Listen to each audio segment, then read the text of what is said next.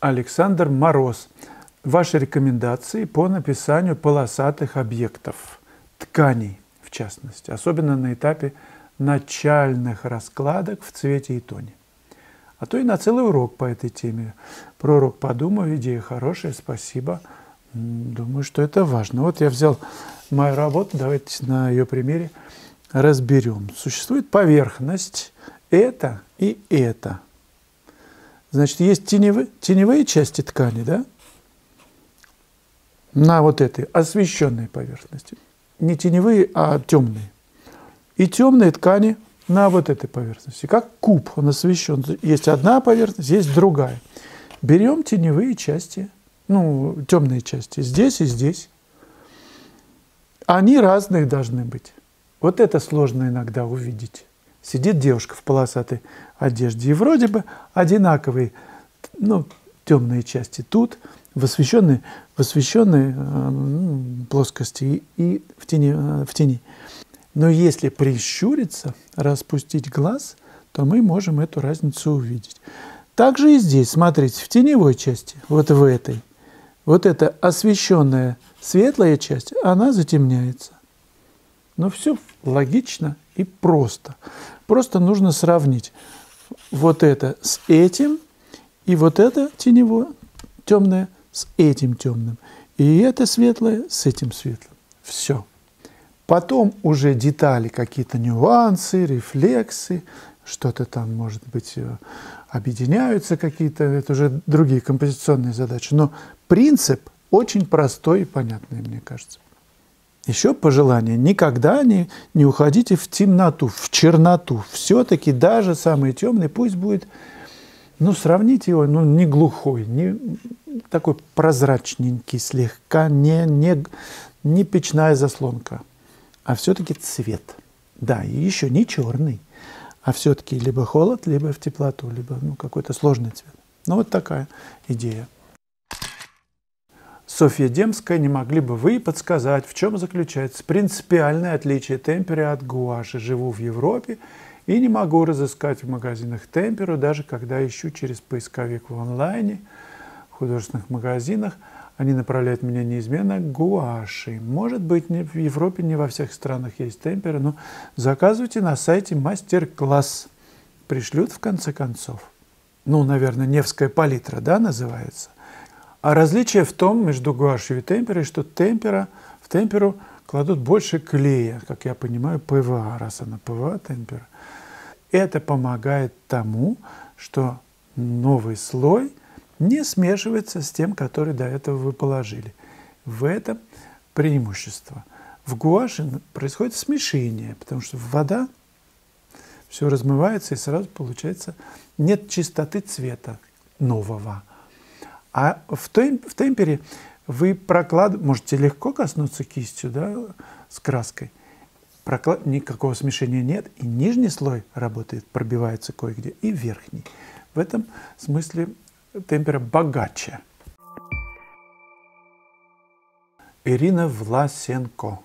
Для меня интересна любая картина, если возникает вопрос, как он это сделал. Гениально. Спасибо вам. Много для себя узнаю полезного и настроение хорошее после просмотра роликов. Спасибо, стараюсь. Это ключевая штука в живописи. Как это сделано? бывает так, что смотришь, ну все понятно, все легко, прям вообще.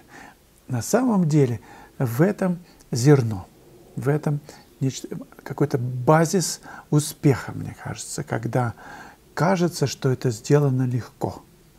Легкость в работе. Вот все понятно, все, будто бы сейчас сядешь и так же сделаешь. А нет. Это кажущееся легкость. Еще раз напомню фразу Фешина. Если бы работы имели запах, то вы бы почувствовали запах моего пота.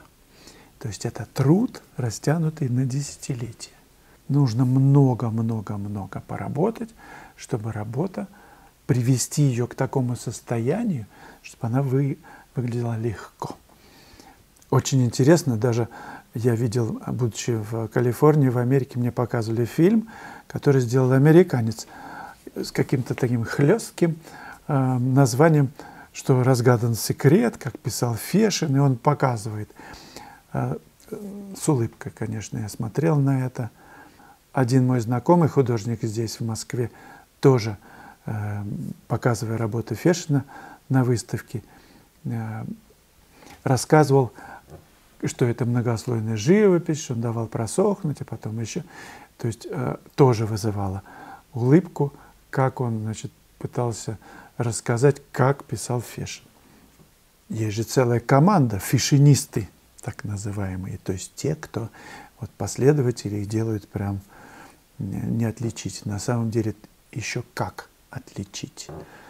С другой стороны, я их понимаю, может, у них и нет задачи. Просто любители Фешина пишут, ну, продолжатели по-своему. И это нормально, и лишний раз доказывает, что как бы вы ни хотели подражать, что ли, мастеру, который вам нравится, будет по-вашему. Все равно вы вносите часть себя. Не будет точной копии техники. Ну, никогда не будет. Это как певец. Вот как бы он ни старался настроить свой аппарат и, и петь так, как поет там Каруза, все равно будет оттенок, я не знаю, повороте. Все равно будет другой, другое звучание. В силу устройства там, связок, артани – в силу понимания, эмоций, ну и там количество факторов многочисленных. В живописи так особенно. Это говорит о том, что не бойтесь подражать. Все равно кривая вывезет на ваш стиль. Вы в любом случае уникальны. Мы разные книжки смотрим. Мы, у нас разные предпочтения, разные вкусы. И по-разному мы замешиваем краски, даже если мыслим вроде бы так же – но примешивается вот этот конгломерат наших ощущений, наших впечатлений от того, что мы видим, и наши, наших навыков. Александр Иванов были с супругой на выставке импрессионистов на днях в Москве. Я немного расстроился, хотел показать ей ваши работы вживую, но их там оказалось немного, 10, и совсем не было портретов. Портреты не отобрали организаторы – а ваше мастерство писать женские лица – это отдельный вид искусства. Спасибо. Подскажите, может быть, будет еще какая-нибудь выставка или ваша персональная в Москве или недалеко от нее. Ну, посмотрим. Сейчас такая ситуация не очень-то такая бравая, выставочная. Но, тем не менее, я надеюсь на лучшее. И, может быть, ближе к весне я проведу такую персональную выставку подыщу помещение и приглашу вас в гости. Владислав Челаее. Только импрессионизма никакого не вижу. Это о выставке как раз, которая вот сейчас проходит на Автозаводской, 18.